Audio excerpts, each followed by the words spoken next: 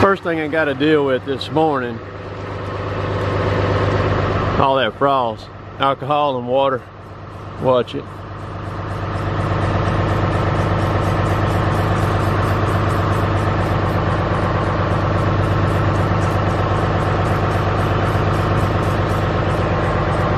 Just like that, it's gone.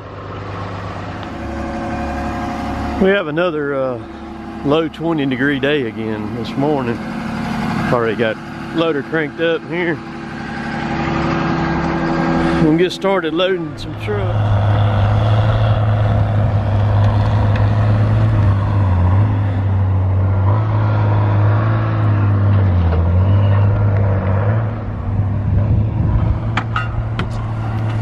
Derek's about to cut that last tree down there.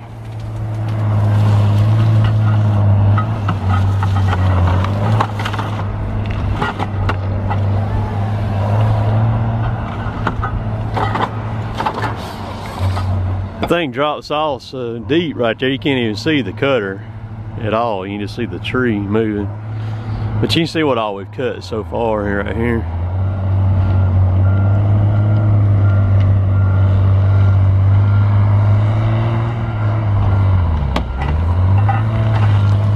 gone. You can see that other cut that we cut uh, 2014, 2015 that winter. Oh, right over there, all the little pines on it. So Derek's got that cut. He's gonna hit this over here and cut this uh, this strip over here. Be the next target area.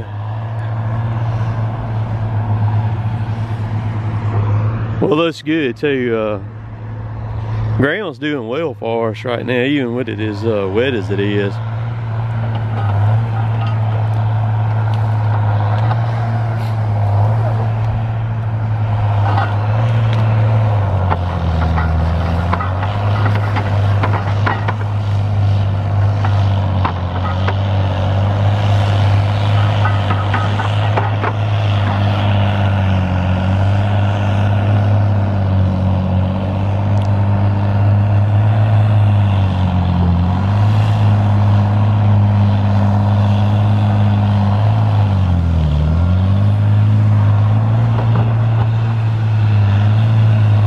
He has got a drag behind that thing too, what you talking about.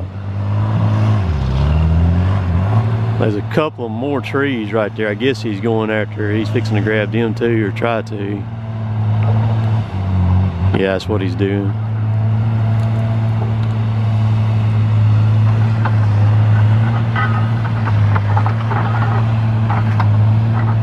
And he's gonna come, this is an old road bed right here.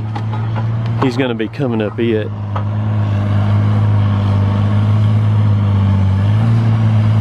Uh-huh. That's a old logging road that they probably had years and years ago when they logged this before. And they pushed it out right there. We'll take, when we're done with it right here, they'll take all this, he's already got brush piled down and on both sides of it. See that pile right there?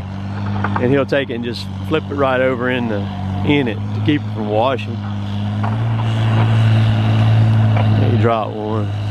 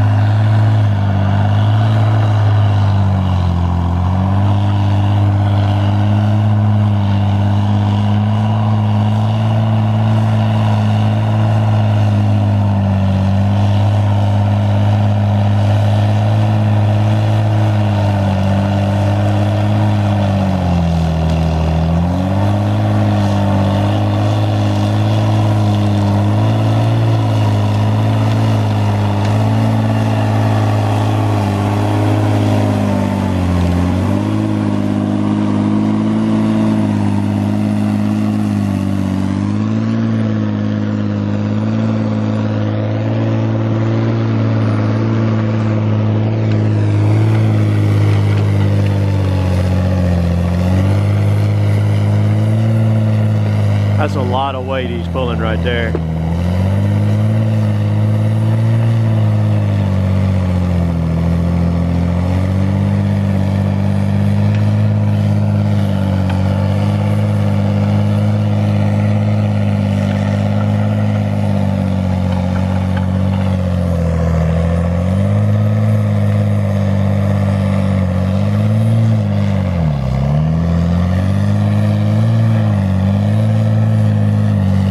See him push himself.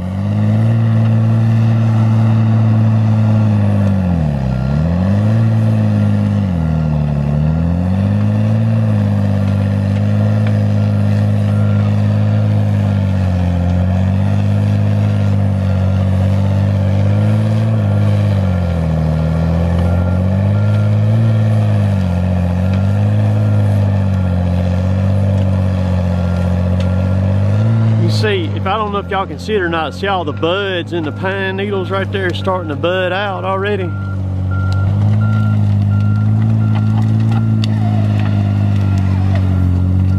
Right up on that mat up there. Those trees all got buds all up in them. Boy, the pollen is, the pollen is here, fixing to be here really bad.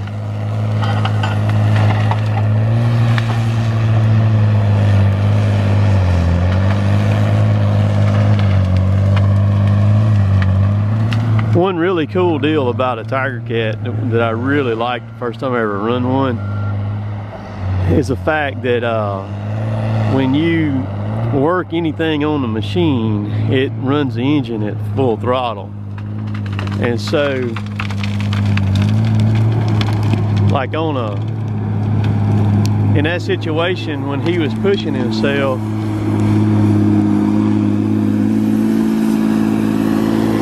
right there. When he when he lets off the accelerator to pull the drag up to him, the machine locks down just like you're sitting there holding the brake, but it's still at full throttle wide open where you got all that power. Like on the older John Deere's, the way that they worked was is you would have to clutch it and hold the clutch in and then hold the brake and then you'd have to heel the brake with your heel hold it and then take your toe and hold the throttle wide open to be able to pick up on it is what you had to do. So that one there when you when you pick up on it you let off the throttle it locks down. And you pick up on it it goes to full full throttle. And then when you go to mash accelerator to push yourself then it automatically unlocks so you never have to hit the you know hit the brake or anything like it's a lot more user friendly a lot more. So say he's starting down there he's gonna start brushing down there at that end when he come when he's got I think he's got one more drag down there. Derek's still down there in that hole right there probably trying to move some trees around for him or something I bet but